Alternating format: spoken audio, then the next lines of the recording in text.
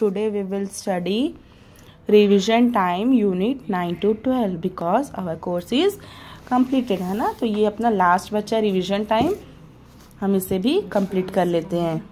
Now question number one write each sentence changing V one मतलब verb one into verb two ठीक है? आपको verb one से verb two में change करना है। First he helps his classmates मतलब वो अपने क्लासमेट को मदद करता है तो ही हेल्प्स है ना? यहाँ पे अपना क्रिया क्या है? है ना? वर्ब तो ये वर्ब वन है प्रेजेंट टेंस में तो हम इसको वर्ब टू पास्ट टेंस में क्या करेंगे? ही हेल्प्ड हीज क्लासमेट्स ठीक है? Children play in the park अब बताओ, यहाँ पे क्रिया क्या है? बच्चे पार्क में खेल रहे हैं। तो यहाँ पे क्या हो गया? वर्ब प्ले है ना? तो अब प्लेड तो क्या हो जाएगा? Start writing take out your pencil and start writing children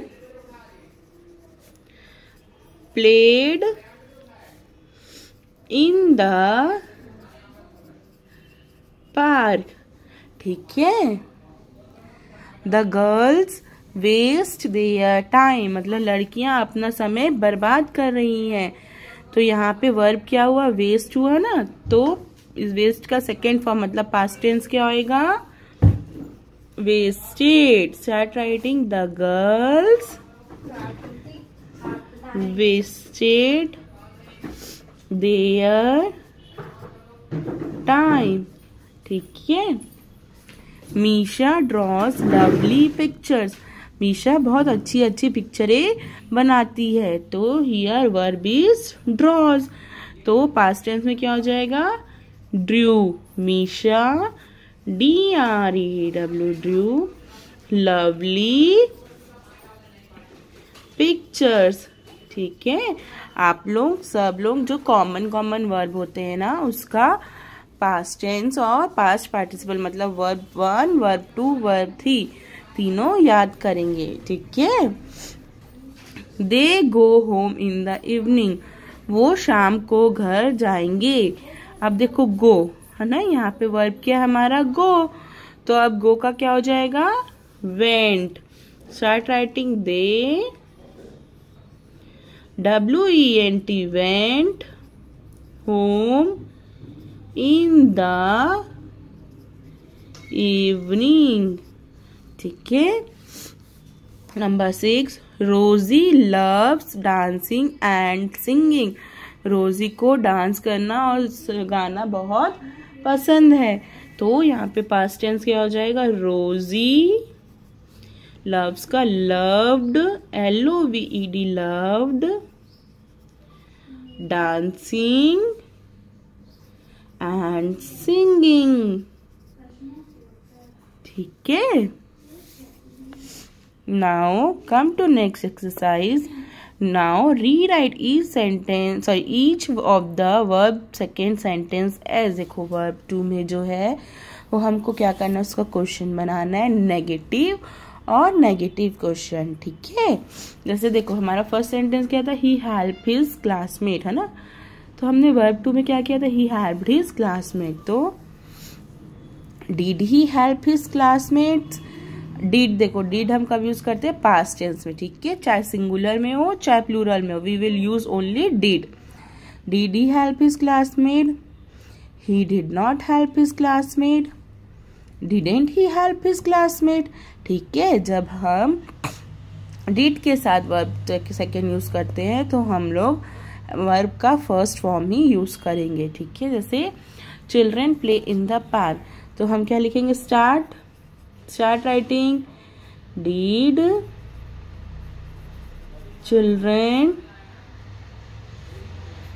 play in the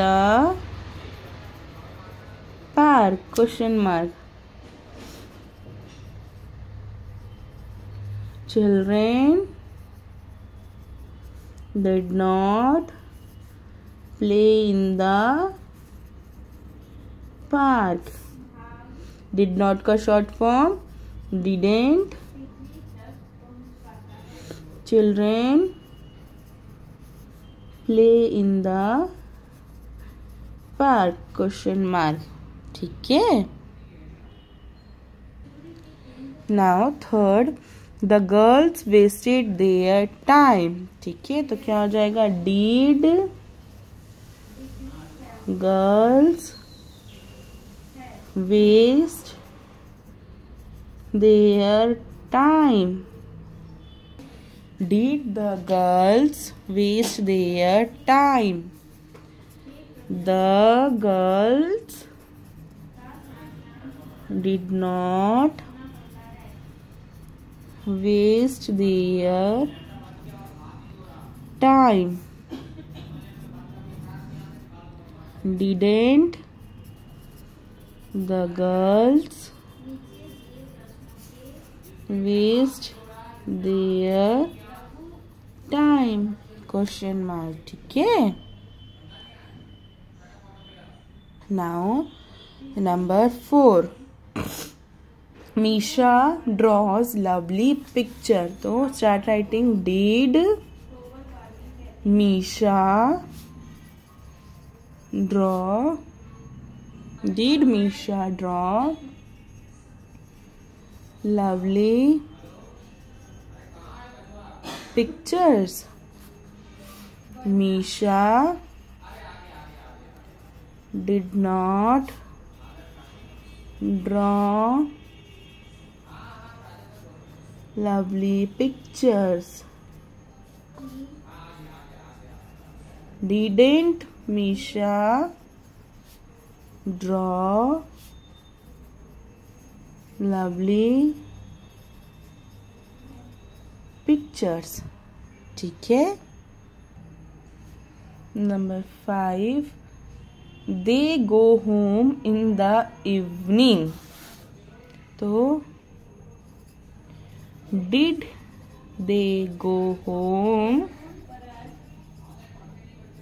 in the evening?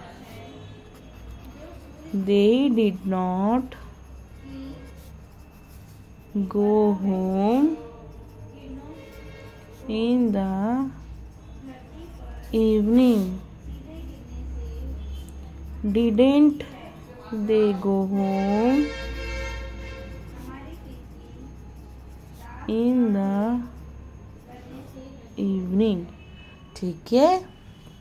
Number six Rosy loves dancing and singing तो did Rosy love dancing and singing Rosy did not love dancing and singing. Didn't Rosie love dancing and singing? ठीक है now, see, last exercise. Write sentence to tell what about, what you will do or not. ठीक है? सी मैंने यहाँ पे लिख के रखा, आप लोग देखो। I will get up early मतलब मैं रोज़ जल्दी उठता हूँ। I won't be late for school मैं स्कूल के लिए लेट नहीं होता हूँ। I will respect my teacher I will respect my teacher. I won't eat in the class. I will help my classmates. मतलब मैं अपने क्लासमेट्स की मदद करता हूँ। I won't fight with anybody मैं किसी से लड़ाई नहीं करता। I will finish my homework ठीक है? मैं अपना होमवर्क कंप्लीट कर लूँगा। तो यहाँ पे जो है हमारा ये यूनिट कंप्लीट होता है। ठीक है? आप लोग भी अपना यहाँ तक कंप्लीट कर लेंगे। Bye have a nice day